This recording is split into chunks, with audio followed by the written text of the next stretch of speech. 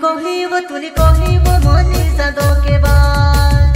कहानी को वो तुली को ही वो मोनी सदों के बाद।